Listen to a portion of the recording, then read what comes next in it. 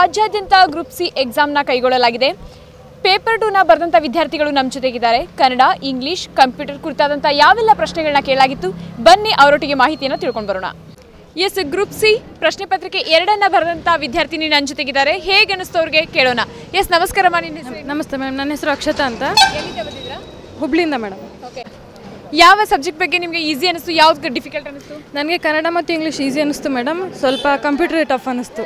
Computer tough ಅನಿಸ್ತಾ ಮತ್ತೆ ಇನ್ನು ಅಂದ್ರೆ ಈಗ ಇದು ಎಷ್ಟೇ ಅಟೆಂಪ್ಟ್ ಇದು ಫಸ್ಟ್ ಅಟೆಂಪ್ಟ್ ಚೆನ್ನಾಗಿದೆಯಾ ಚೆನ್ನಾಗಿದೆ ಮೇಡಮ್ ಸೊ ಮುಂದಿನ ವಿದ್ಯಾರ್ಥಿಗಳಿಗೆ ಏನು ಹೇಳೋಕೆ ಇಷ್ಟಪಡ್ತೀರಾ? ಅಂದರೆ ಕಂಪ್ಯೂಟ್ರಲ್ಲಿ ಸ್ವಲ್ಪ ಜಾಸ್ತಿ ಪ್ರಿಪೇರ್ ಆಗ್ರಿ ಅಂತ ಹೇಳ್ತೀನಿ ಮೇಡಮ್ ಸ್ವಲ್ಪ ಟಫ್ ಅನ್ನಿಸ್ತು. ನನಗೆ ಪ್ರಿಪೇರ್ ಆಗಿರಲಿಲ್ಲ.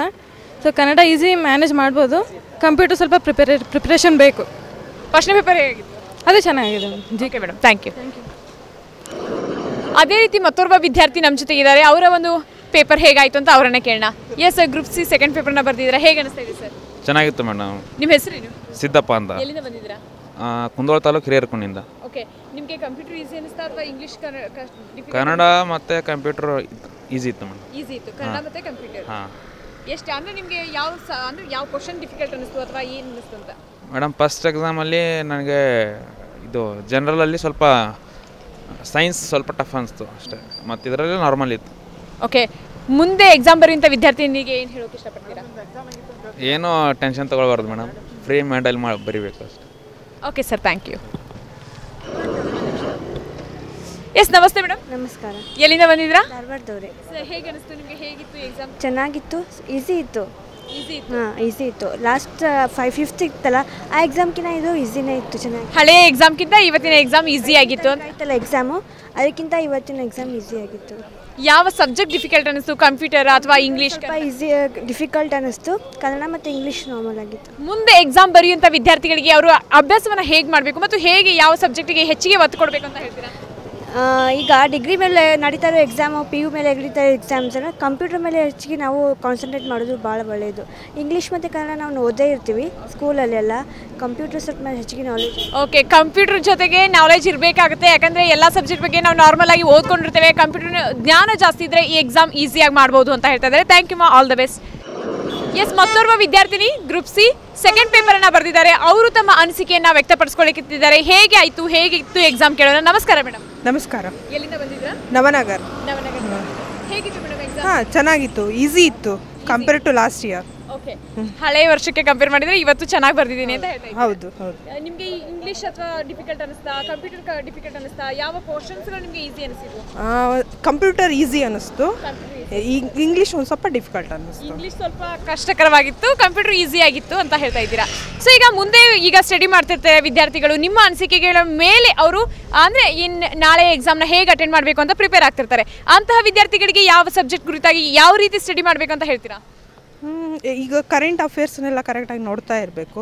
ಕನ್ನಡ ವ್ಯಾಕರಣ ಅದೆಲ್ಲ ಕರೆಕ್ಟಾಗಿ ಕಂಪ್ಲೀಟಾಗಿ ಗೊತ್ತಿರಬೇಕು. ಕಂಪ್ಯೂಟರ್ ಬಗ್ಗೆನೂ ಒಂದು ಸ್ವಲ್ಪ ಕೊಂತಾ ಇರಬೇಕು. Okay madam thank you and all the best yes computer ಬಗ್ಗೆ ಹೆಚ್ಚಿನ ಮಾಹಿತಿ ಇಟ್ಕೊಂಡಿರಬೇಕು. ಜೊತೆಗೆ ಎಲ್ಲ ರೀತಿ ಪ್ರೈಮರಿ ಸ್ಟಡಿಯಿಂದ ಹಿಡಿದು ನಾವು ಎಲ್ಲ ಒಂದು ಸಬ್ಜೆಕ್ಟ್ಗಳನ್ನ ಓದ್ತಾ ಇದ್ರೆ ಮತ್ತು ಕರೆಂಟ್ ಅಫೇರ್ ಜೊತೆಗೆ ಒಡನಾಟ ಇದ್ರೆ ಖಂಡಿತವಾಗ್ಲೂ ಎಕ್ಸಾಮ್ ಚೆನ್ನಾಗಾಗುತ್ತೆ ಅಂತ ಹೇಳ್ತಾ ಇದ್ದಾರೆ ಮತ್ತೋರ್ವ ವಿದ್ಯಾರ್ಥಿ ನಮ್ಮ ಜೊತೆಗಿದ್ದಾರೆ. ನಮಸ್ಕಾರ ಸರ್ ಎಲ್ಲಿಂದ ಬಂದಿದ್ದೀರಾ? ನವಲ್ಗುಂದಿಂದ ಬಂದಿರೋದು ನಿಮ್ಮ ಹೆಸರೇನು ಸರ್ ಶರೀಫ್ ಅಂತ. ಹೇಳಿ ಶರೀಫ್ ಅವರು ಹೇಗಾಯ್ತು ಎಕ್ಸಾಮ್ ಚೆನ್ನಾಗಾಯಿತು. ಒಂದು ಆಲ್ಮೋಸ್ಟ್ ಆಲ್ ಏನಂದರೆ ಟೆಂತ್ರಿಂದ ಈಗ ಬಟ್ ಪಿ ಯು ಸಿ ಏನು ಓದಿದಾರಲ್ಲ ಮೇನ್ ಅದರಲ್ಲೇ ಕ್ವಶನ್ ಬಂದಿರೋದು. ಚೆನ್ನಾಗಿ ಸ್ಟಡಿ ಮಾಡಿದವ್ರಿಗೆ ಚೆನ್ನಾಗಿರುತ್ತೆ. ಬಟ್ ಕಂಪ್ಯೂಟರ್ ನಾಲೆಜ್ ಯಾರಿಗಿದೆ ಅನ್ನೋದು ಚೆನ್ನಾಗಿ ಬರುತ್ತೆ. ಕಂಪ್ಯೂಟರ್ ನಾಲೆಜ್ ಏನೇ ಮಿನಿಮಮ್ ಏನು ಮಾಡ್ತಾ ಇದ್ದಾರಲ್ಲ ಕಂಪ್ಯೂಟರ್ ನಾಲೆಜ್ ಗೊತ್ತಿದ್ದವರು ಅವರೆಲ್ಲ ಚೆನ್ನಾಗಿ ಪರ್ಪಸ್ ಮಾಡ್ಬೋದು. ಅದೇ ಥರ ಹೇಳ್ತಾಗಿ ನಿಮಗೆ ಯಾವ ಸಬ್ಜೆಕ್ಟ್ ಡಿಫಿಕಲ್ಟ್ ಅನಿಸ್ತು ಇಂಗ್ಲೀಷ್ ಸ್ವಲ್ಪ. ಇಂಗ್ಲೀಷ್ ಹಾಂ. ಮತ್ತು ಕಂಪ್ಯೂಟರ್ ನಾಲೆಜ್ ಸ್ವಲ್ಪ ಇದೆ ಗೊತ್ತಿದೆ. ಅದ್ರ ಬಗ್ಗೆ ಚೆನ್ನಾಗಿ ಕ್ವಶನ್ ತೆಗೆದಿದ್ದಾರೆ. ಮತ್ತೇನು ಸಮಸ್ಯೆ ಆಗಲಿಲ್ಲ.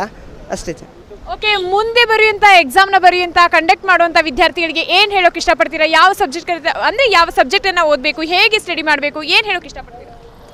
ಇವಾಗ ಪರ್ಪಸ್ ನಾಲೆಜ್ ಅಂದರೆ ಚೆನ್ನಾಗಿರೋದು ಓದ್ತಾ ಓದ್ಬೇಕು ಅನ್ಸುತ್ತೆ. ಅವರು ಇಷ್ಟ ಯಾವುದಾಗುತ್ತೆ ಅದು ಓದಿದ್ರೆ ಚೆನ್ನಾಗಿರುತ್ತೆ. Thank you sir and all the best thank you yes ತುಂಬಾ ಖುಷಿಯಲ್ಲಿದ್ದಾರೆ ಈ ವಿದ್ಯಾರ್ಥಿನಿ. ಹಾಗಿದ್ರೆ ಇವರ ಪೇಪರ್ ಚೆನ್ನಾಗೇ ಆಗಿದೆ ಅಂತ ಅನ್ಕೋಬಹುದು. ಕೇಳೋಣ ಅವ್ರಿಗೆ ಹೇಗಿತ್ತು ಅಂತ. ಹೇಗಿತ್ತು ಸರ್ ಎಕ್ಸಾಮ್ ಹಾಂ ಎಕ್ಸಾಮ್ ಲಾಸ್ಟ್ ಟೈಮ್ ನಂಗೆ ಸೇಮ್ ಇತ್ತು ರೀ. ಎಲ್ಲ ಎಲ್ಲದ್ರಾಗೂ ಹತ್ತತ್ತು ten types geography history economics political ಎಲ್ಲದರಲ್ಲಿ ಹತ್ತತ್ತು ಹತ್ತು ಟೈಪ್ ಕೇಳಿದ್ದಾನೆ ರೀ. ಪರವಾಗಿಲ್ಲ ಚೆನ್ನಾಗಾಯಿತು. ಲಾಸ್ಟ್ ಟೈಮ್ ಹ್ಯಾಪಿಯೆಸ್ಟ್ ಕಂಟ್ರಿ ಅದು ರಿಪೋರ್ಟು ಲಾಸ್ಟ್ ಟೈಮ್ ಹೈಯೆಸ್ಟ್ ಕೇಳಿದ್ದ ಇವ ಈ ಟೈಮ್ ಲೋಯೆಸ್ಟ್ ಕೇಳ್ಯಾನ. ಆದಷ್ಟು ಕ್ವಶನ್ ಪೇಪರ್ ಎಲ್ಲ ಬಿಡಿಸ್ದವ್ರಿಗೆ ಬೆನಿಫಿಟ್ ಐತಿ. ಆದಷ್ಟು ಚೆನ್ನಾಗಿ ಸ್ಟಡಿ ಮಾಡಿದವ್ರಿಗೆ ಏನು ಗೆಟನ್ ಆಗ್ಬೋದು. ಓಕೆ ಚೆನ್ನಾಗಿ ಅಭ್ಯಾಸ ಮಾಡಿದರೆ ಚೆನ್ನಾಗಿ ಮಾರ್ಕ್ಸ್ನ ತೆಗಿಬೋದು ಅಂತ ಹೇಳ್ತಾ ನಮಸ್ಕಾರ ಸರ್ ನಮಸ್ಕಾರ ಮೇಡಮ್ ಎಲ್ಲಿಂದ ನಾವು ಧಾರವಾಡ ಇಲ್ಲೇ ಮೇಡಮ್ ವೆಂಕಟಾಪುರ ಶುದ್ರ ಕಾಲನಿ ಅಂತ ಎಕ್ಸಾಮ್ ಚಲೋ ಇದೆ ಮೇಡಮ್ ಚೆನ್ನಾಗಿದೆ. ಆದರೆ ಮೊದಲು ಪಿ ಯು ಸಿ ಯಾರು ಓದಿರ್ತಾರಲ್ಲ ಅವ್ರಿಗೆ ಎಕ್ಸಾಕ್ಟ್ಲಿ ಅಟೆಂಡ್ ಭಾರಿ ಚಲೋ ಇದೆ ಮೇಡಮ್ ಅವ್ರಿಗೆ ಬರಲಿಕ್ಕೆ. ಕಂಪ್ಯೂಟರು ಕನ್ನಡ ಜನರಲ್ ನಾಲೆಡ್ಜು ಅದು ಕೇಳಿದ್ದಾರೆ ಮೇಡಮ್ ಎಲ್ಲ ಕ್ವಶನ್ಸ್ನು ಕವರ್ ಮಾಡಿದ್ರು ಅಂತ ಹೇಳ್ತಾ ಇದ್ದೀರಾ? ಎಲ್ಲ ಎಲ್ಲ ಕ್ವಶನ್ಸು ಕವರ್ ಇದೆ. ಆದರೆ ಅದು ಮೈನಸ್ ಇದೆ ಋಣಾತ್ಮಕ ಇರುತ್ತೆ ಮೇಡಮ್ ಅಂದರೆ ನಾಲ್ಕು ನಾಲ್ಕು ತಪ್ಪಾದರೆ ಒಂದು ತಪ್ಪಾಗಿಬಿಡುತ್ತೆ. ಅದಕ್ಕೆ ನೂರಕ್ಕೆ ನಾವು ನೂರು ಹಾಕ್ಬಾರ್ದು. ನೂರಕ್ಕೆ ಒಂದು ಎಂಬತ್ತು ಅಥವಾ ಎಂಬತ್ತೆರಡು ಎಪ್ಪತ್ತೊಂಬತ್ತು ಎಕ್ಸಾಕ್ಟ್ಲಿ ಯಾವ ಗೊತ್ತಿದೆಯಲ್ಲ ಅವಷ್ಟೇ ಹಾಕಿ ಬರಬೇಕು. ಅವ್ರದ್ದು ಮಾತ್ರ ಆಗುತ್ತೆ ಅದು. ಓಕೆ ಮುಂದೆ ಎಕ್ಸಾಮ್ ಬರೆಯುವಂಥ ವಿದ್ಯಾರ್ಥಿಗಳು ಯಾವ ರೀತಿ ಸ್ಟಡಿ ಮಾಡಬೇಕು ಯಾವ ರೀತಿ ಯಾವ ಒಂದು ಕಂಪ್ಯೂಟರ್ಗೆ ಹೆಚ್ಚಿಗೆ ಒತ್ತು ಕೊಡಬೇಕಾ ಅಥವಾ ಯಾವ ಸಬ್ಜೆಕ್ಟ್ ಬಗ್ಗೆ ಓದ್ಕೋಬೇಕು ನಾಲೆಜ್ ತೊಳ್ಕೋಬೇಕು ಅಂತ ಹೇಳ್ತೀರಾ? ನಾಲೆಜ್ ಅಂದರೆ ಮೇಡಮ್ ಈಗ ಜನ್ರಲ್ ನಾಲೆಜ್ ಜಾಸ್ತಿ ಓದಬೇಕು. ಸಾಮಾನ್ಯ ಕನ್ನಡ ಜಾಸ್ತಿ ಓದಬೇಕು. ಮತ್ತು ಕಂಪ್ಯೂಟ್ರ್ ಆ್ಯಕ್ಚುಲಿ ಯಾರು ಪರ್ಫೆಕ್ಟಾಗಿ ಓದಲಿಲ್ಲ ಅಂದರೂ ಯಾರು ಕಂಪ್ಯೂಟ್ರ್ ಮುಂದೆ ಕುಂತು ಕ ಇದನ್ನು ಮಾಡ್ತಾರಲ್ಲ ವರ್ಕ್ ಮಾಡ್ತಾರಲ್ಲ ಅವ್ರಿಗೆ ಜಾಸ್ತಿ ಆ ಕ್ವಶನ್ಸ್ ಎಕ್ಸಾಕ್ಟ್ಲಿ ಆನ್ಸರ್ ಬರುತ್ತೆ ಅವ್ರಿಗೆ. Thank you sir and all the best yes ಸ್ನೇಹಿತರೆ ಇವ್ರು ಹೇಳ್ತಾ ಇದ್ದಾರೆ ಕಂಪ್ಯೂಟರ್ ಬಗ್ಗೆ ನಾವು ಹೆಚ್ಚಿಗೆ ಒತ್ತು ಕೊಡಬೇಕಾಗುತ್ತೆ ಮತ್ತು ಎಲ್ಲ ಸಬ್ಜೆಕ್ಟ್ಗಳಿಗೂ ನಾವು ಸಾಮಾನ್ಯ ಜ್ಞಾನಕ್ಕೆ ಹೆಚ್ಚಿಗೆ ಒತ್ತು ಕೊಟ್ಟು ಓದಿದ್ದೆ. ಆದರೆ ಖಂಡಿತವಾಗ್ಲೂ ಮಾರ್ಕ್ಸ್ನ ಚೆನ್ನಾಗಿ ತೆಗಿಬಹುದು ಅಂತ ಹೇಳ್ತಾ ಇದ್ದಾರೆ. ಅದೇ ರೀತಿ ಎಸ್ ಹೇಳಿ. ಇನ್ನೊಂದು ಏನಂದರೆ ಮೊದಲಿನಿಂದ ಯಾರು P U C tenth S S S S L C ಏನು ಕಲ್ತಿರ್ತಾರಲ್ಲ ಅಲ್ಲಿ ಮತ್ತು ಪಿ ಯು ಸಿಯಲ್ಲಿ ಮೋಸ್ಟ್ ಇಂಪಾರ್ಟೆಂಟ್ ಅಲ್ಲಿ ಚೆನ್ನಾಗಿ ಯಾರು ಓದಿರ್ತಾರಲ್ಲ ಅದನ್ನು ಗ್ಯಾರಂಟಿ ಹಂಡ್ರೆಡ್ ಪರ್ಸೆಂಟ್ ಮಾಡ್ತಾರೆ ಅವರು. Thank you sir group C second ಪೇಪರ್ನ ಬರೆದಿರೋ ಸವಿತಾ ನಗ್ತಾ ಇದ್ದಾರೆ. ಹಾಗಿದ್ರೆ ಅವ್ರಿಗೆ ಎಕ್ಸಾಮ್ ಚೆನ್ನಾಗಿರುತ್ತೆ ಅಂತಾನೆ ಅರ್ಥ. ಹಾಗಿದ್ರೆ ಬನ್ನಿ ಕೇಳೋಣ ಹೇಗಾಯಿತು ಯಾವ ಒಂದು ಸಬ್ಜೆಕ್ಟ್ ಅವ್ರಿಗೆ ಈಸಿ ಆಗಿತ್ತು ಕಂಪ್ಯೂಟರ್ ಡಿಫಿಕಲ್ಟ್ ಅನಿಸ್ತಾ ಈಸಿ ಅನಿಸ್ತಾ ಅಥವಾ ಇಂಗ್ಲೀಷ್ ಈಸಿ ಅನಿಸ್ತಾ ಅಂತ ಕೇಳೋಣ. ಎಸ್ ಸರ್ ನಮಸ್ಕಾರ ಮೇಡಮ್ ಸವಿತಾ ಅವರೇ. ನಮಸ್ತೆ ಮ್ಯಾಮ್ ಎಲ್ಲಿಂದ ಬಂದಿದ್ರಾ ನಾವು ಹಾಲ್ಕುಸಗಲ್ಲಿಂದ ಧಾರವಾಡ ಡಿಸ್ಟಿಕ್ ಹಾಲ್ಕೋಸಗಲ್ಲಿಂದ ಬಂದಿದ್ರಾ ಹೇಗೆ ಅನಿಸ್ತು ಮೇಡಮ್ ಎಕ್ಸಾಮ್ ನಿಮಗೆ? ಎಕ್ಸಾಮ್ ಏನು ಅಂತ ಪರಿ ಟಫ್ ಇರಲಿಲ್ಲ ಮೇಡಮ್. ಈಸಿನೇ ಇತ್ತು. ಕಂಪ್ಯೂಟ್ರು ಅಬ್ವಿಯಸ್ಲಿ ನಾರ್ಮಲ್ ಓದೋರಿಗಂತೂ ಪೂರ್ತಿ ಟಚ್ ಮಾಡ್ಬೋದು ಹಾಗಿತ್ತು. ಜನ್ರಲ್ ಕನ್ನಡ ಅಂತೂ ಈಸಿ ಭಾಳ ಇತ್ತು. ಜನ್ರಲ್ ಇಂಗ್ಲೀಷ್ ಒಂಚೂರು ಟ್ವಿಸ್ಟಾಗಿ ಕೇಳಿದರು. ಹಾಂ. ಹಾಂ ಈಗ ಮುಂದೆ ಎಕ್ಸಾಮ್ನ ಬರೀತಿರ್ತಾರೆ ವಿದ್ಯಾರ್ಥಿಗಳು. ನಿಮ್ಮ ಒಂದು ಅನಿಸಿಕೆಗಳ ಮೇಲೆ ಅವರು ಸ್ಟಡಿನ ಮಾಡಬೇಕು ಅಂತ ಅನ್ಕೊಂಡಿರ್ತಾರೆ. ಅಂತಹ ವಿದ್ಯಾರ್ಥಿಗಳಿಗೆ ಯಾವ ರೀತಿ ಸ್ಟಡಿ ಮಾಡಬೇಕು? ಯಾವ ಒಂದು ಸಬ್ಜೆಕ್ಟ್ಗಳಿಗೆ ಹೆಚ್ಚಿನ ಒತ್ತು ಕೊಡಬೇಕು? ಏನು ಹೇಳೋಕೆ ಇಷ್ಟಪಡ್ತೀರಾ ಜನ್ರಲ್ ಜನರಲ್ ಜನ್ರಲ್ ಕನ್ನಡ ಅಂದ್ರೆ ಗ್ರಾಮರ್ ಅಬ್ವಿಯಸ್ಲಿ ಗ್ರಾಮರ್ ಪೂರ್ತಿ ಟಚ್ ಇರಬೇಕು. ಅದ್ರೊಳಗೆ ನಾರ್ಮಲಾಗಿ ಕ್ವಶನ್ಸ್ ಕೇಳ್ತಾರೆ. ಅಬ್ವಿಯಸ್ಲಿನೇ ಈಸಿ ಅನ್ಸುತ್ತೆ. ಕೆ ಪಿ ಎಸ್ ಸಿ ಭಾಳ ಟಫ್ ಭಾಳ ಟಫ್ ಅನ್ನೋರಿಗೆ ಇದಕ್ಕೆ ಕ್ವಶನ್ಸ್ ನೋಡಿದ ತಕ್ಷಣ ಆಲ್ಮೋಸ್ಟ್ ಈಸಿ ಅಂತಂದು ಅನಿಸ್ತೈತಿ ಮ್ಯಾಮ್ ಮತ್ತು ಕಂಪ್ಯೂಟರ್ ಅಂದ್ರೆ ಪೂರ್ತಿ ಬೇಸಿಕ್ ನಾಲೆಜ್ ಇದ್ರೆ ಸಾಕು. ಆರಾಮ್ ಕ್ವಶನ್ಸ್ ಟಚ್ ಮಾಡ್ಬೋದು. ಸೊ ನೀವು ಇಷ್ಟೊಂದು ಹೋಪ್ಸಲ್ಲಿದ್ದೀರಾ ಅಂದ್ರೆ ಖಂಡಿತವಾಗ್ಲೂ ಒಂದು ಸೆವೆಂಟಿ ಫೈವ್ ಮೇಲೆ ಬೀಳ್ಬೋದಾ?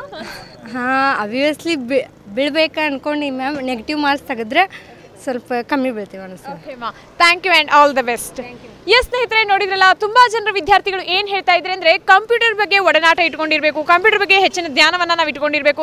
ಜೊತೆಗೆ ಸಾಮಾನ್ಯ ಜ್ಞಾನದ ಕುರಿತಂತ ಮಾಹಿತಿ ನಮಗಿದ್ರೆ ಚೆನ್ನಾಗಿ ನಾವು ಎಕ್ಸಾಮ್ನ ಮಾಡ್ತೇವೆ ಅಂತ ಬಹುತೇಕ ವಿದ್ಯಾರ್ಥಿನಿಯರು ತಮ್ಮ ಅಭಿಪ್ರಾಯನ ವ್ಯಕ್ತಪಡಿಸಿದ್ರು. ಎಸ್ ಇಂತಹ ಉಪಯುಕ್ತ ಮಾಹಿತಿಗಳನ್ನ ತೆಗೆದುಕೊಂಡು ನಾವು ಬರ್ತೇವೆ. ಅಲ್ಲಿವರೆಗೂ ನೀವು ನೋಡ್ತಾ ಇರಿ ಕ್ಲಾಸಿಕ್ ಎಜುಕೇಶನ್ ಯೂಟ್ಯೂಬ್ ಚಾನಲ್ ಈ ವಿಡಿಯೋ ನಿಮಗೆ ಇಷ್ಟ ಆಗಿದ್ರೆ ಲೈಕ್ ಮಾಡಿ ಶೇರ್ ಮಾಡಿ ಮತ್ತು ಇಂತಹ ಇನ್ನಷ್ಟು ಮಾಹಿತಿಗಳಿಗಾಗಿ ನಮ್ಮ ಚಾನಲ್ಗೆ ಸಬ್ಸ್ಕ್ರೈಬ್ ಆಗಿ.